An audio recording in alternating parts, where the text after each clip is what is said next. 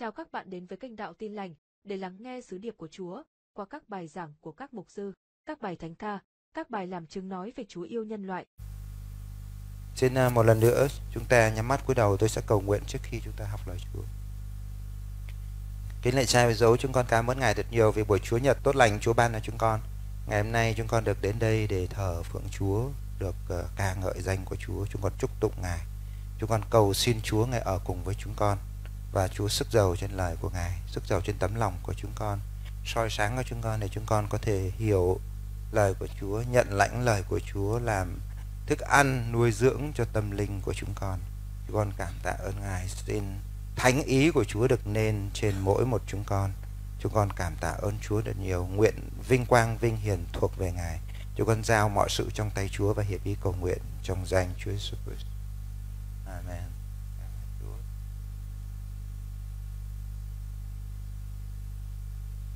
Chúng ta sẽ cùng à, chúng đọc. Tôi đọc câu lẻ, quý vị đọc câu chẵn. Có một người giàu kia mặc toàn vải tía và vải gai mịn, hàng ngày ăn uống tiệc tùng rất xa xỉ.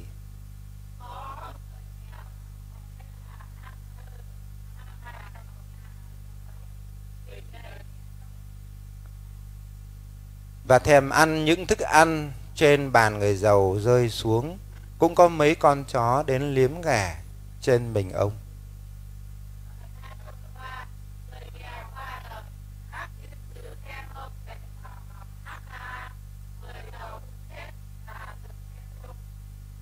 Đang khi chịu đau đớn giữa âm phủ, người giàu ngước mắt lên, trông thấy Abraham ở xa và có Lazarus ở trong lòng ông ấy.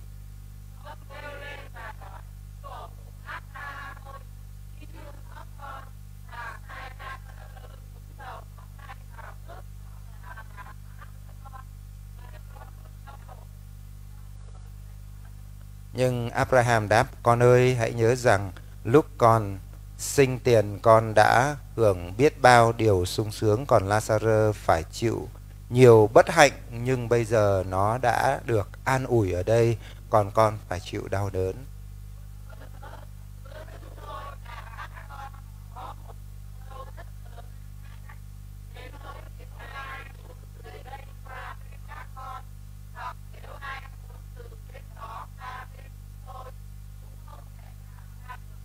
Người giàu nói, nếu vậy, tổ phụ ơi, xin sai Lazarus về nhà cha con.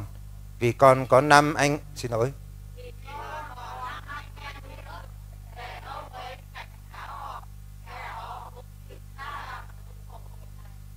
Abraham đáp, họ đã có môi xe và các tiên tri. Hãy để họ nghe lời các vị ấy.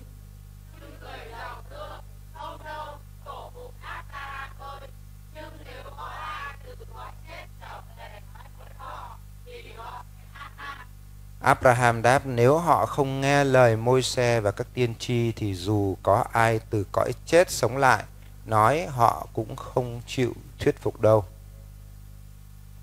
Kính thưa ông bà chị em, à, trong cái câu chuyện mà do chính Chúa Giêsu kể về người giàu và Lazarus thì chứa đựng rất nhiều những cái lẽ thật mà chúng ta cần phải suy ngẫm à, để chúng ta biết rằng là những cái thế giới vô hình vượt quá cái sự hiểu biết và con, cái cái cái trí hiểu của con người, chúng ta không thể nào mà tự có thể suy luận ra được. Nó đang tồn tại và nó được tạo dựng ra bởi đấng tạo hóa. Chúng ta không thể tự suy luận nó ra được, mà chúng ta chỉ có thể khám phá nó ra thôi. Giống như cái trái đất này khi cái con khi con người của chúng ta cái hiểu biết về khoa học hiểu biết về về về trái đất này nó còn hạn hẹp ấy, thì đã từng có thời kỳ người ta suy nghĩ rằng cái chất này trái đất này nó là là không phải hình vụ hình cầu. Đó. Nó giống như một cái mặt phẳng đó. nhưng khi đến khi mà khoa học bắt đầu phát triển thì người ta khám phá ra rất nhiều điều mà trước kia người ta tin nó là là đúng mà sau đó thì người ta mới nhận biết đó là sai. Nên khi người ta khám phá ra được cái uh, vũ trụ thì người ta có thể chế ngự được cái vũ trụ đấy. Ví dụ như khi người ta khám phá ra cái định luật Newton là khi chúng ta thả một vật thì nó sẽ rơi xuống đất. Tức là nó sẽ thu, mọi vật nó sẽ thu hút vào trung tâm của trái đất này. Nhưng mà ra khỏi trái đất này á, thì chúng ta sẽ ở trong trạng thái lơ lửng có nghĩa là càng rời xa trái đất ấy, thì cái độ hút vào trung tâm trái đất nó sẽ càng yếu đi. Và từ đấy thì người ta mới à, vận hành để mà khám phá ra à, đưa ra các cái quy luật. Và từ đấy ấy, thì mới à, biết được cái sự vận hành của máy bay rồi có cái tàu du hành vũ trụ vân vân vân vân. Thì điều mà tôi muốn nói rằng là có rất là nhiều những cái mà khoa học không thể khám phá ra được vì khoa học chỉ có thể khám phá ra được những cái vật chất đấy. Còn những cái vô hình thì không thể nào mà máy móc nào có thể đo đếm được hết. Mà cái vô hình đấy nó đang tồn tại và nó thực sự đang tồn tại và tồn tại rất là quyền năng. Cho nên chúng ta không thể nào mà tự suy luận ra được. À, thiên đàng nó như thế này tôi nghĩ thiên đàng này hay tôi nghĩ địa ngục này tôi nghĩ thế này tôi nghĩ kia mỗi ông nghĩ một kiểu. Ông nào cũng có suy luận riêng của mình và tất cả các suy luận của chúng ta đều tốt nhưng mà không phải nó là chân lý. Vì nó tốt vì nó đến từ cái tư duy logic của chúng ta. Nhưng mà nó không phải là chân lý. Chân lý phải đến từ đấng tạo ra nó. Cho nên khi Chúa Giêsu kể cái câu chuyện này ấy, thì nó không phải là một câu chuyện nghe cho nó vui tai. Mà Chúa Giêsu kể câu chuyện này để bày tỏ những cái lẽ thật, những cái chân lý mà chúng ta không thể nào mà suy niệm, tự suy niệm được mà chỉ có thể hiểu biết qua cái sự mặc khải, sự bày tỏ của chính Ngài mà thôi. Chúa Giêsu kể cái câu chuyện người giàu và Nazareth. Có một người giàu thì rất giàu, một người nghèo thì rất nghèo. Hàng ngày thì người giàu ăn uống tiệc tùng xa xỉ và có người giàu thì ở trước cửa nhà kẻ nở đúng không ạ? con chó của nhà giàu đến liếm cái kẻ cho cái người nghèo này khi hai người qua đời ấy, thì thiên sứ để người nghèo vào lòng của Abraham còn người giàu thì ở nơi âm phủ. Ở trong nơi âm phủ đấy ông ta nóng quá ông ta chịu không nổi ông ta nhìn lên trên. Và ông ta thấy Abraham với Lazarus đang ở đó không phải chịu cảnh đau khổ đó. Và ông cầu xin Abraham rằng xin hãy khiến cho Lazarus nhúng tay vào lưỡi và vào nước sau đó thì nhúng vào lưỡi ông để cho ông đỡ nóng. Nhưng mà Abraham từ chối việc này vì điều đấy không thể được. Và bản thân Abraham cũng không thể quyết định được cái việc đấy vì Abraham chỉ là vật thọ tạo thôi. Đấng sáng tạo mới quyết định được cái việc đấy. Và Abraham nói từ đây qua đó không được và từ đó qua đây không được. Do đó có một cái lời cầu xin của uh, người giàu cho Abraham đó là vậy thì xin hãy khiến cho Lazarus được sống lại để về báo cho anh của tôi, các anh em của tôi, được các anh em tôi không phải xuống nơi hình khổ này. Cho nên khi mà người ta đã qua đời thì người ta biết hết mọi cái rồi ấy, thì người ta mới thấy được cái giá trị của của cái sự sống hiện tại, đúng không ạ? Nhưng mà cơ hội đã không còn nữa. Abraham từ chối nói rằng là không được, vì họ đã có các đấng tiên tri. Họ phải nghe các vị đấy. Còn nếu mà không nghe thì dẫu người chết sống lại họ cũng không nghe. Và trong cái câu chuyện này đấy, thì chứa đựng một số những lẽ thật như sau. Để chúng ta sẽ cùng tập trung lắng nghe lời Chúa để chúng ta hiểu. Thứ nhất, sau khi Abraham, xin lỗi, sau khi Lazarus và người giàu này qua đời, thì Kinh Thánh nói rằng là linh hồn của họ vẫn còn đang tồn tại. Nhưng quý vị sẽ thấy một điều rằng là trong câu chuyện này đấy, không có đề cập tới tới gì? Con chó. Quý vị có thấy không ạ? Quý vị có thấy cái con chó nó có xuất hiện à, sau khi qua đời không? không thấy con chó xuất hiện sau khi sau khi hai nhân vật qua đời mà lại thấy người giàu và người nghèo thì cái sự kiện này nó giúp cho chúng ta hiểu một điều gì? Đó là trong muôn loài vạn vật, duy nhất con người có linh hồn. Con vật không có linh hồn. Cho nên nó cũng phủ nhận đi tất cả những cái quan niệm về niềm tin rằng con vật có linh hồn. Và chúng ta sợ giết con vật hay là sợ sát sinh những con vật, hay là sợ rằng những con vật đấy nó sẽ về, nó sẽ trả thù rồi ngày xưa chúng ta chưa tin Chúa thì chúng ta à, khi mà chúng ta giết con gà chúng ta cũng hay nói là hóa kiếp cho mày. Mà không nói hóa kiếp cho ông cho bà mà nói hóa kiếp cho mày. Mặc dù là nói là hóa kiếp nhưng vẫn gọi nó là mày. Chúng ta thấy cái sự đối nghịch trong cái cái niềm tin mà mà con người tự nghĩ ra. Nếu như trong con gà đấy nó là ông bà của chúng ta hay linh hồn linh hồn của người đã mất thì chúng ta phải nói một cách tôn trọng chứ nói tôn trọng, nhưng mà chúng ta không nói một cách tôn trọng, chúng ta nói hóa kiếp cho mày. Nói cách khác là, đấy là chỉ là cái cách để làm an ủi cái lương tâm của chúng ta thôi. Chứ nó không phải là lẽ thật, nó không phải là chân lý. Chúa Giêsu cho chúng ta biết rằng là, chỉ có duy nhất khi con người được tạo dựng nên ấy, thì Chúa hà sinh khí và lỗ mũi trong sách sáng tân ký đoạn 2 câu số 7. Rêu và Đức Chúa Trời hạ sinh khí và lỗ mũi thì loài người trở lên một một linh hồn sống. Yeah. Rêu và Đức Chúa Trời hà sinh khí. Quý vị thấy khi Chúa tạo lên một loài vạn vật, Chúa có hà sinh khí của Ngài vào trong con vật nào hoặc là cái vật thể nào đó không có duy nhất con người chúa hà sinh khí vào lỗ mũi thôi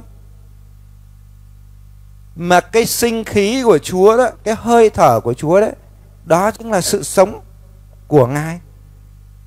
Và chúng ta đến từ đấng đời đời. Chính vì vậy, khi Adam và Eva nhận lấy sinh khí đấy từ nơi Chúa, thì Adam và Eva có cái sự sống đời đời trong mình. Cái sự sống đời đời đấy là sự sống đời đời về phần về phần linh hồn. Hoặc là nó đời đời ở trên thiên đàng, hay là nó đời đời ở trên địa ngục. Điều này có nghĩa rằng là không có sự tịch diệt của linh hồn có một số tôn giáo và một số niềm tin. Họ dạy rằng là khi con người qua đời chúng ta sẽ ở trong cái trạng thái tịch diệt, tức là tiêu tan đi, không còn nữa.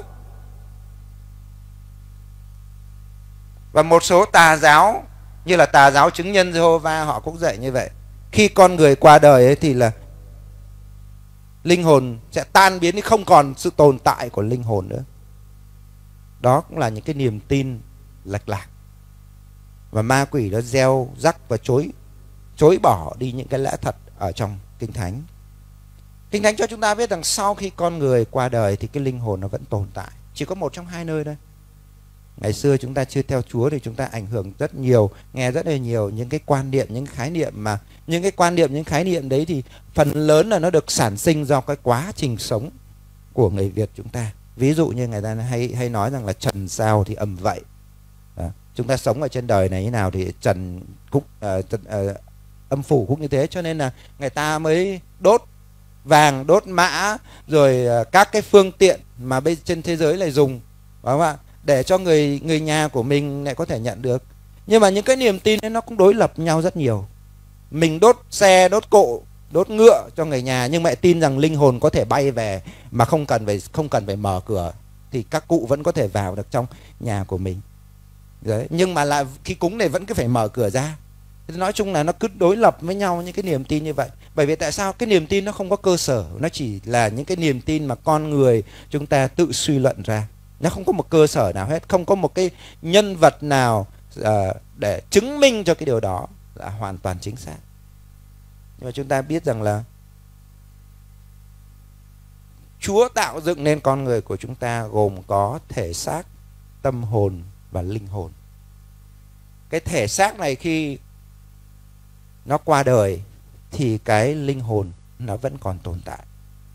Nó tồn tại ở trong dạng nhận thức chứ không phải nó tồn tại ở trong dạng vô thức vô thức có nghĩa rằng nó vẫn tồn tại nhưng mà tôi không có biết đau đớn, tôi không có biết sung sướng gì hết không phải như vậy sau khi Lazarus chết thì Lazarus được đưa vào lòng Abraham và nơi đó không phải trải qua sự đau đớn. Lazarus biết điều đó. Còn đâu người giàu phải xuống nơi địa ngục và chịu đau đớn, và người giàu biết điều đó.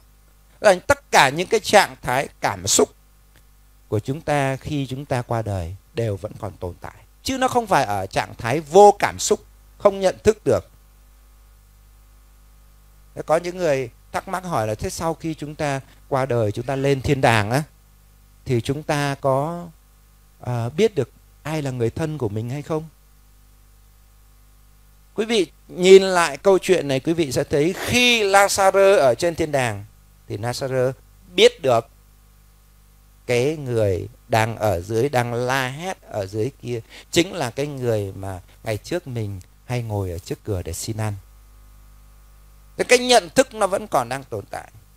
Tất nhiên trong câu chuyện này, Chúa Giêsu kể đấy, không phải là địa ngục chỉ có mỗi một cái nhân vật đấy, và thiên đàng chỉ có mỗi một cái nhân vật kia. Mà trong cái câu chuyện này, Chúa Giêsu kể hai nhân vật, chứ không phải nó chỉ tồn tại hai nhân vật.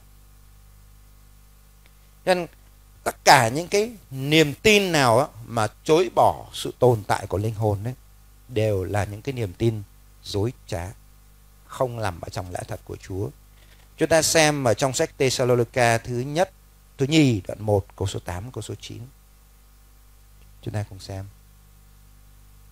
Báo thù những kẻ chẳng hề, tức là Đức Chúa Trời sẽ báo thù những người không nhận biết Ngài và không vâng phục tin lành của Đức Chúa Giêsu Christ. Họ sẽ bị hình phạt đời đời xa cách mặt Chúa và sự vinh hiển của quyền pháp Ngài. Kinh Thánh có cho chúng ta biết rằng sẽ có một ngày phán xét xảy ra khi mà Chúa sẽ phán xét tất cả mọi người trong đó những người chối bỏ Chúa, những người chống nghịch Chúa thì sẽ xa cách mặt Chúa và sự vinh hiển và quyền phép Ngài cho đến đời đời. Thế như vậy là sự phán xét có xảy ra, cái linh hồn nó có tồn tại sau khi chúng ta qua đời chứ nếu như mà linh hồn của chúng ta ở trong trạng thái tan biến đi thì sao?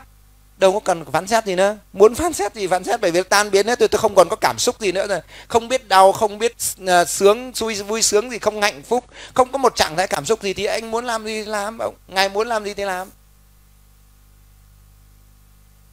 Nhưng không phải như vậy. Kinh thánh cho chúng ta biết rằng khi con người của chúng ta qua đời thì cái linh hồn của chúng ta vẫn còn tất cả những nhận thức và những cảm xúc.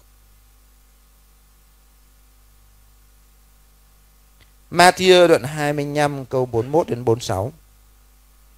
Kế đó, Ngài sẽ phán cùng những người ở bên tả rằng, Hỡi kẻ bị rủa, Hãy lui ra khỏi ta đi vào lửa đời đời Sắm sẵn cho ma quỷ và những quỷ sứ nó.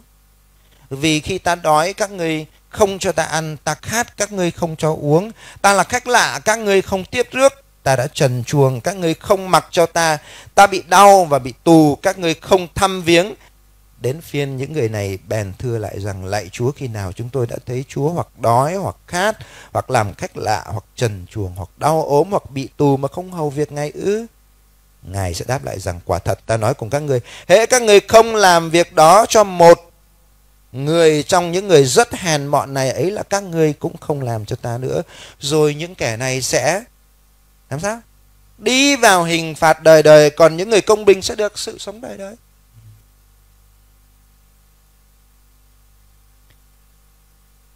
Khi chúng ta sống ở trên trái đất này thì tất cả chúng ta đều như nhau hết đấy. Nó có khác nhau thì khác nhau một chút ít đấy, bảo người giàu, người nghèo, nhưng mà chúng ta cũng đều có cơm để ăn đều có áo để mặc. Về cơ bản là con người có so sánh thì cũng không thấy nhiều sự khác biệt.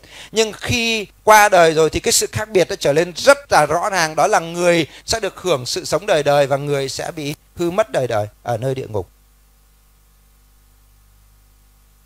Đó chính là lý do tại sao Chúa Giêsu phải đến thế gian phải chết. Và Phaolô cũng nói rằng tôi vì biết rằng Chúa rất đáng kính sợ cho nên tìm cách để làm cho mọi người đều tin. Và kinh thánh khuyến cáo chúng ta rằng là chúng ta có thể mất tất cả mọi sự, nhưng nếu như chúng ta hư mất linh hồn thì vô ích bởi vì linh hồn của chúng ta nó sẽ có giá trị đời đời mãi mãi một người có thể là được cả thiên hạ này nhưng mà linh hồn xuống địa ngục thì là vô ích thôi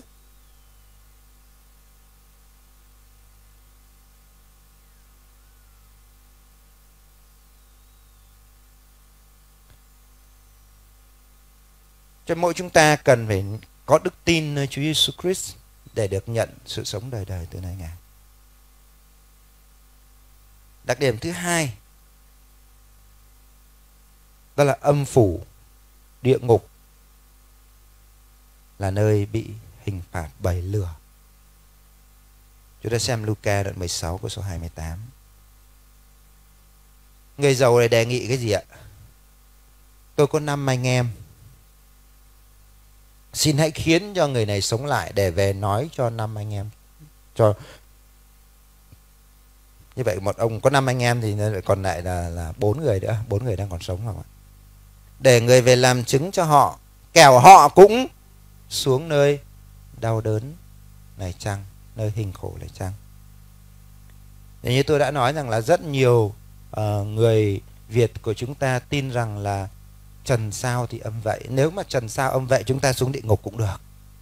Trước khi chết đấy chúng ta cứ nói với người thân chúng ta là chịu khó cúng nhiều một tí. Đó. một ngày ăn ba bữa thì cũng cho tôi ăn ba bữa.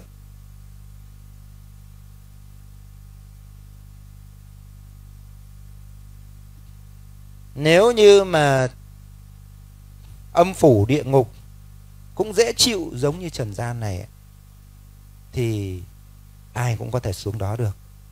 Và chúng ta không có ngại gì khi chúng ta làm điều ác cứ sống ác thoải mái cứ sống bừa bãi sống tội lỗi thoải mái. Không có khái niệm về tội lỗi.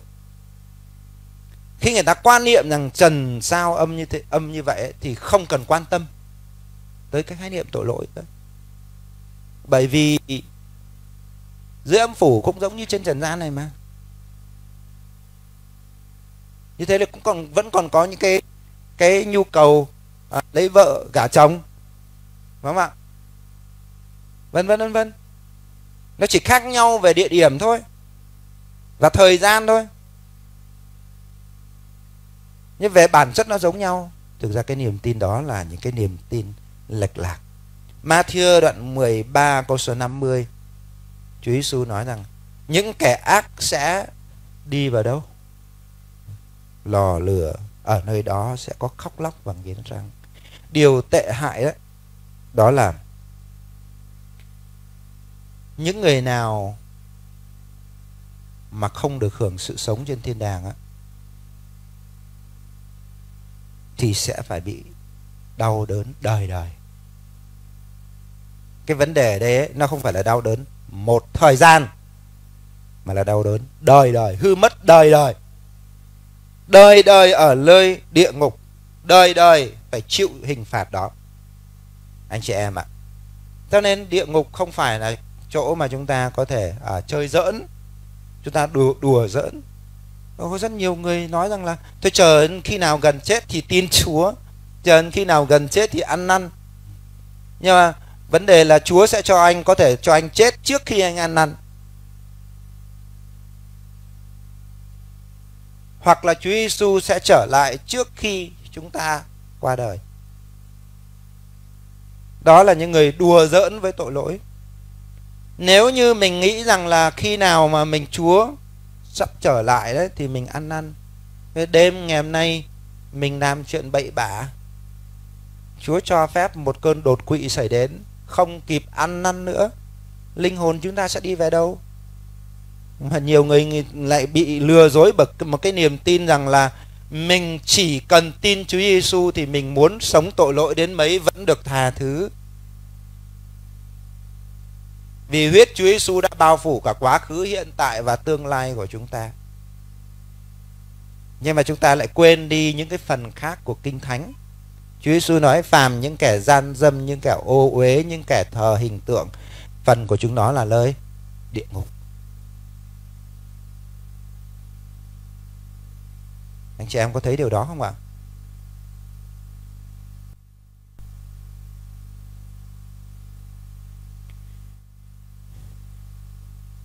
đặc điểm thứ ba, đó là cánh cửa ân điển sẽ bị đóng lại khi chúng ta qua đời. Là khi chúng ta còn sống đây thì cơ hội vẫn còn cho chúng ta. Và khi chúng ta qua đời thì không còn cơ hội nữa.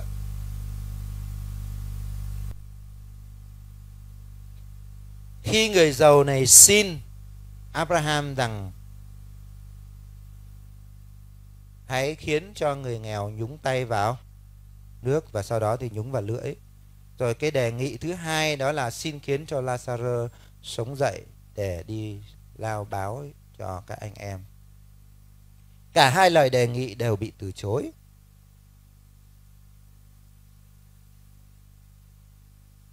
Kinh Thánh thì nói rằng là ma quỷ cũng tin Chúa và run sợ. Nhưng mà tại sao đức tin của ma quỷ lại không dẫn đến sự cứu rỗi? Vì cánh cửa cơ hội cho họ không có nữa.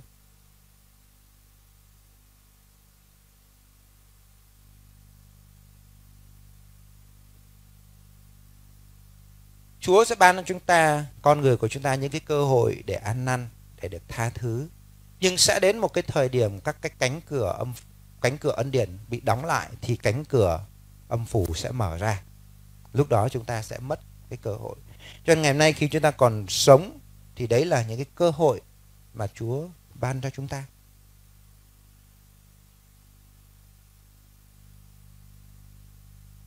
Khi chúng ta tin nhận vào nơi Ngài thì chúng ta sẽ được sự cứu rỗi. Amen. Hallelujah. Cho nên ông bà anh chị em là um, um, khi mà Chúa ban cho chúng ta còn sức lực, còn sự khôn ngoan, sự thông sáng, hãy cứ chia sẻ về đức tin cho những người khác. Hãy nói về Chúa cho những người khác để họ không phải xuống nơi hình khổ này. Chúng ta chính là lời cầu nguyện của người giàu đấy. Vì người giàu xin rằng là hãy khiến cho Lazarus sống lại. Để về báo cho các anh em. Như, chú, như Abraham nói rằng họ đã có các tiên tri, có môi xe và các tiên tri rồi. Họ phải nghe những người đấy. Nên chúng ta cũng giống như là môi xe và các tiên tri cho thế hệ của chúng ta. Và nếu như chúng ta ngậm miệng lại, mình không có chịu nói, thì người ta cũng vẫn phải xuống cái nơi hình khổ kia. Nhưng mà Chúa sẽ đòi cái máu của những cái người đấy nơi mỗi chúng ta. Nhưng cơ hội ngày hôm nay Chúa ban cho chúng ta có thể chia sẻ đức tin cho ai, hãy chia sẻ. Vì sẽ đến một thời điểm không còn cơ hội nữa. Sẽ có sẽ có những thời điểm các cánh cửa ân điển bị đóng lại hết tất cả các cơ hội. Amen. Cho nên hãy nắm bắt tất cả những cái cơ hội đấy để chia sẻ đức đức tin cho những người khác. Đặc điểm thứ tư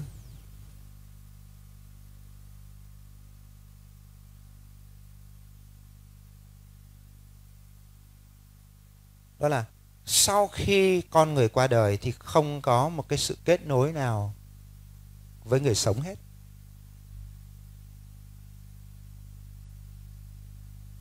Quý vị sẽ thấy từ trong câu chuyện mà Chúa Giêsu kể đó, có một cái sự kết nối nào không ạ? Người người người sống có thể cầu nguyện cho người chết được không? Và người chết có thể cầu nguyện cho người sống được không? Tất cả những cái niềm tin đó và những sự thực hành đức tin đó đều trở thành vô ích hết.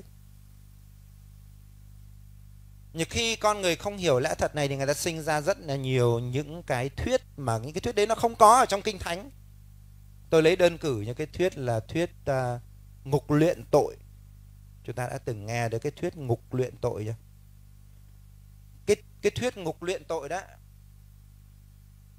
được thực hành chủ yếu là với người công giáo thì cái thuyết này họ dạy rằng khi con người chúng ta qua đời ấy, thì chúng ta sẽ phải đi đến một cái ngục để luyện tội. Và khi thanh sạch rồi thì mình mới được về với Chúa trên thiên đàng. Cho nên quý vị cứ hỏi những người công giáo là anh có tin rằng là sau khi anh qua đời anh được lên thiên đàng hay không?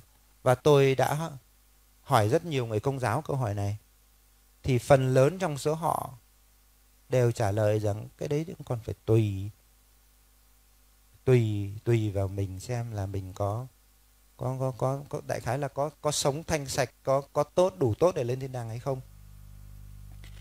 Thì cái vấn đề ở đây nó là như này. Nghe thì nó có vẻ rất là hay nhưng mà nó lại ngược kinh thánh ngược kinh thánh, bởi vì không có một chỗ nào trong kinh thánh dạy về sau khi chúng ta qua đời sẽ có một nơi mà chúng ta đi tạm đến đấy. Gọi là nơi tạm bợ. Quý vị nhìn từ câu chuyện của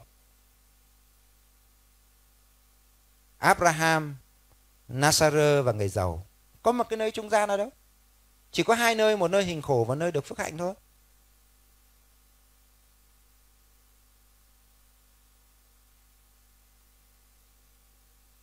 Và cái niềm tin đấy nó còn dẫn đến một trong những cái thực hành lệch lạc là như này. Nếu như người sống mà có thể cầu nguyện cho người chết thì trước khi tôi chết tôi sẽ nói với người sống như này này. Bây giờ tôi cứ làm ăn phi pháp, vô đạo đức. Tôi kiếm được ít tiền để cho con cháu. Nhưng mà dặn con cháu là sau khi tôi qua đời đấy chịu khó đọc kinh cho tôi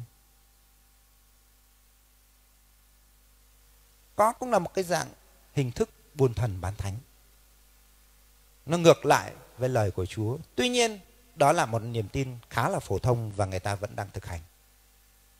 Cho nên tôi mới nói với bà chị em rằng có rất nhiều những cái tư tưởng những cái hệ thống niềm tin mà người ta thực hành ngày hôm nay không hề có trong kinh thánh một chút nào.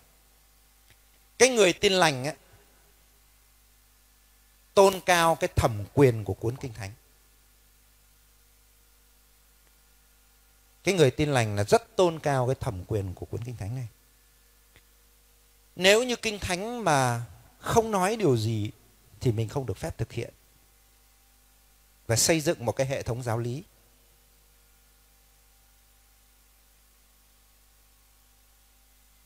Và chúng ta không được xây dựng hệ thống giáo lý và niềm tin của chúng ta dựa trên truyền thống. Truyền thống được hình thành khi nào? Khi có một nhóm người tin vào một điều gì đó thực hành và truyền lại cho người khác. Dần già thì đấy gọi là truyền thống, được truyền lại từ đời này đến đời kia thì gọi là truyền thống. Nhưng câu hỏi đặt ra là cái niềm tin đấy, cái truyền thống đấy nó có phù hợp với kinh thánh hay không? Cho nên đối với chúng ta, những người tin lành, là chúng ta rất tôn trọng cái thẩm quyền tối cao của cuốn kinh thánh tôi không nói chỉ là thẩm quyền mà thẩm quyền tối cao, có nghĩa là kinh thánh phải đóng vai trò thẩm quyền tối cao.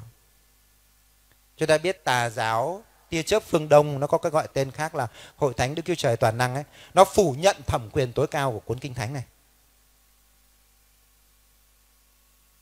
Và họ dạy rằng là họ có cái sự giải nghĩa cho những điều mầu nhiệm của chúa. Ở bà dương hứng bân, và bây giờ phải nghe bà đấy vì cái cái huyền nhiệm đấy mới đến từ nơi Chúa, chứ không quyền kinh thánh này không có thẩm quyền tối cao. Vậy mà cũng có những người tin theo đấy. Cho anh chị em biết rằng là khi con người của chúng ta đấy, không có lời của Chúa đấy, thì người ta có thể bị ma quỷ nó dẫn dụ đi đủ mọi lối.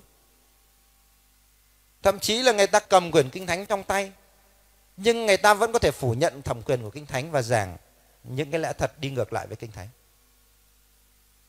mỗi một cơ đốc nhân của chúng ta phải có trách nhiệm đọc kinh thánh, suy gẫm kinh thánh và thực hành kinh thánh. Lời của Chúa, đây là lời của Chúa đã được mặc khải, đã được bày tỏ cho chúng ta và chúng ta phải suy gẫm nó.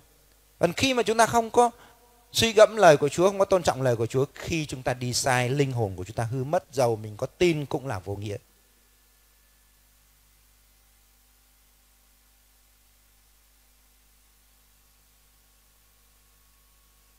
Đặc điểm thứ năm đó là người giàu phải xuống địa ngục, không phải vì ông ta giàu. Người nghèo được lên thiên đàng không phải vì ông ta nghèo. Mặc dù trong cái câu chuyện của Lazarus và người giàu này không có đề cập tới. Nhưng mà dưới ánh sáng của những chỗ khác trong Kinh Thánh, thì cho chúng ta biết rằng một người được cứu bởi đức tin nơi Chúa Giêsu Christ ăn năn và tin nhận Chúa Giêsu Christ.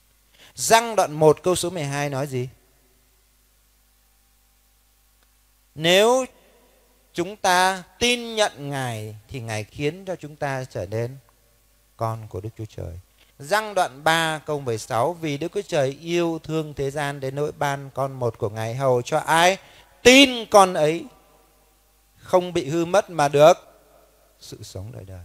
Răng đoạn 3 câu số 36 Ai tin con thì được sự sống. Ai không chịu tin con thì không được sự sống. Nhưng cơn thịnh nộ của Đức Chúa Trời vẫn ở trên người đó.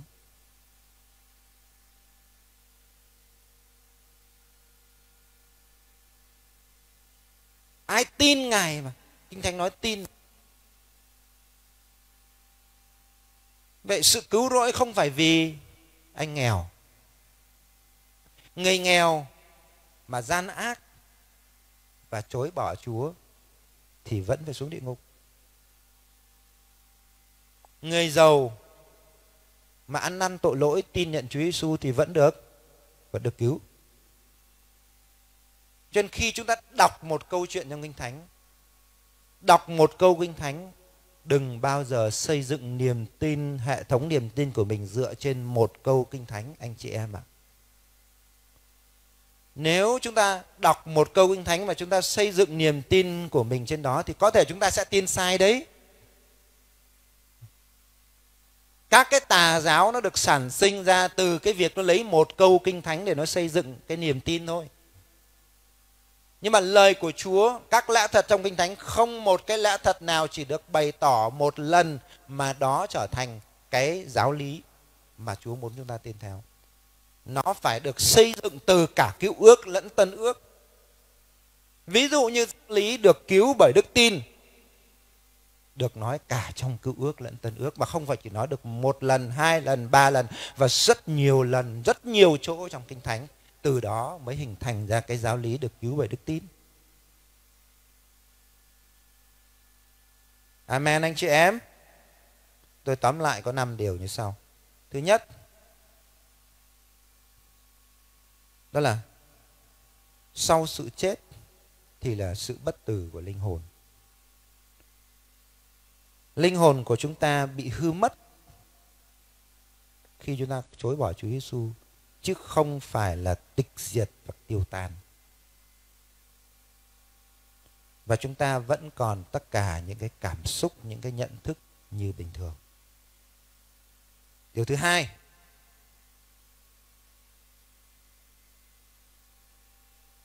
đó là những người ấy, mà chối bỏ Chúa thì sẽ phải sống không phải sống là dùng từ sống thì thì nó thì nó không đúng. Sẽ bị phạt bởi lửa đời đời. Điều thứ ba đó là cánh cửa ân điển sẽ bị đóng lại khi con người chúng ta qua đời. Đặc điểm thứ tư đó là thế giới của người sống không tác động được bất cứ một điều nhỏ nào trên thế giới người chết. Không một chỗ nào trong kinh thánh chúa dạy chúng ta cầu nguyện cho người chết. Và thế giới người chết không tác động được trên thế giới người sống. Không bao giờ có chuyện ông bà, cụ kỵ về ban phúc cho con cháu. Và không có chuyện linh hồn người chết về bắt linh hồn người sống, bắt người sống đi. Nó gọi là trùng tang. Có phải không ạ? Tức là người người chết về bắt người sống. Không bao giờ có chuyện đó. Có tà linh nó vận hành qua người người, tà linh nó vận hành qua người chết để về bắt người sống thì có. Chứ linh hồn của cái người chết đấy, sau khi qua đời đã bị giam giữ, không có, không bao giờ có chuyện linh hồn người chết đấy về bắt người sống ngày tôi mới tin Chúa, thì tôi cũng hay cầu nguyện cho các cụ kỵ. Vì mình có tình cảm, mình thương, cho nên là mình cầu nguyện. Sau khi tôi đọc kinh thánh, thì dưới ánh sáng của lời của Chúa tôi nhận biết rằng điều đó là vô nghĩa và dừng lại cái việc cầu nguyện đó. Và điều thứ năm,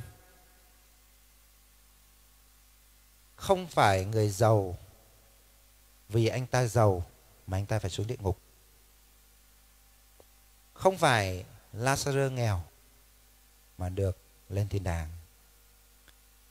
Cả người giàu và người nghèo đều phải xuống địa ngục khi người đó sống trong tội lỗi và không tin nhận Chúa Giêsu.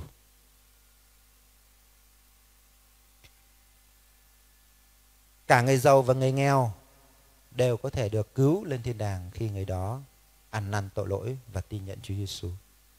Giàu hay nghèo không quyết định được sự cứu rỗi của chúng ta, nhưng ăn năn tội lỗi và đức tin nơi Chúa Giêsu sẽ quyết định nơi chúng ta đến. Amen. Chúng ta sẽ cùng đứng dậy cầu nguyện.